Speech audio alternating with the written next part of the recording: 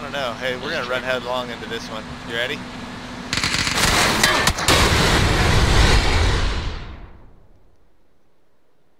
Huh. Huh. well, I actually